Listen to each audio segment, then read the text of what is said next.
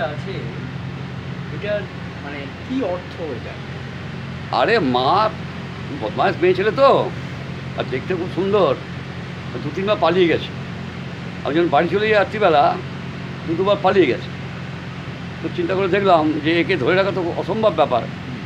একে বামদেবের মা- তারার পুজো, এ তো করা যায় না।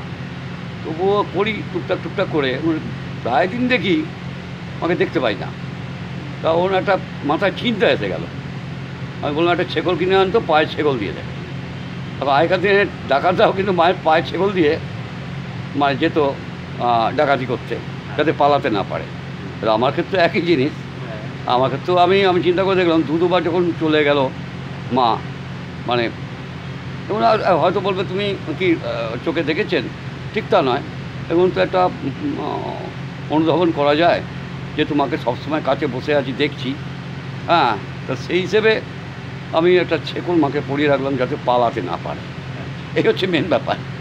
হ্যাঁ। হ্যাঁ হ্যাঁ হ্যাঁ হ্যাঁ। ক- কবে অনুভূতিটা হলো এই কিছুদিন আগে মাস চার পাঁচেক হবে আমার একটা বিরাট অনুভূতি হলো যে মা যেন পা- চলে যাচ্ছে।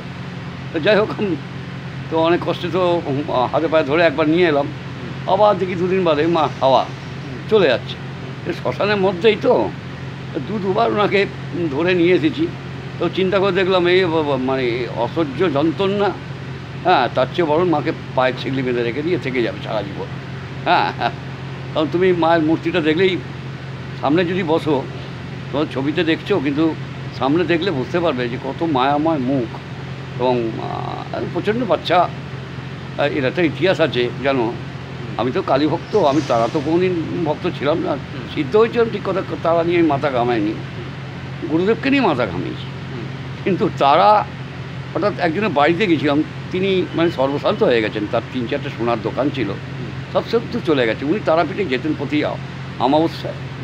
গিয়ে উনি ওই পুজো পুজো দিতেন এ করতেন মদপথ খেতেন। তো মাধব দুষ্ট হয়েছিলেন। তো সভ্যশান্ত হয়ে যাওয়ার পর একটা মেয়ে বিয়েও দিতে পারছেন এরকম অবস্থার মধ্যে পড়ে গেছে। তখন এখানে মানে আমাদের যারা আছেন তাদের এসে ধরে যে, বাবাকে একটু বলুন আমার বাড়ি যেতে। তা আমি বলছি আচ্ছা যাব যাব করে কাটিয়ে দিয়েছি। একদিন হঠাৎ ও গাড়ি নিয়ে এলো, বলল, আপনাকে যেতে হবে। কাছেই দূরে কোথাও নয়, এখান থেকে এক কিলোমিটার দূরে।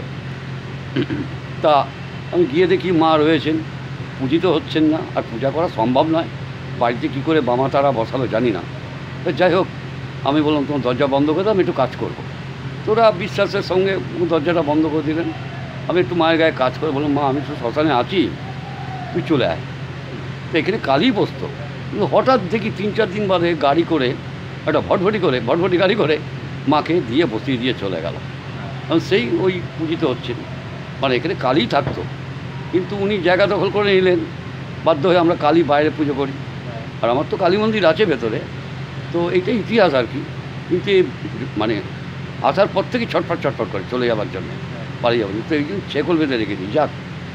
শিকল বেঁধে রেখেছি কোথায় যাবি যাক। তুই তোর মতো থাক বদমাইশির তো একটা সীমা আছে।